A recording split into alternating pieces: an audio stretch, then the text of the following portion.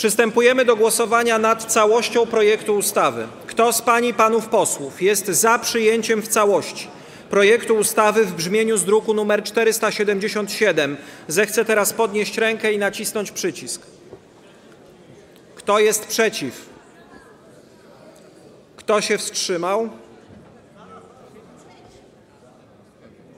Dziękuję. Głosowało 435 posłów, za 215, przeciw 218. Wstrzymało się dwóch. Stwierdzam, że Sejm nie uchwalił ustawy o zmianie ustawy Kodeks karny.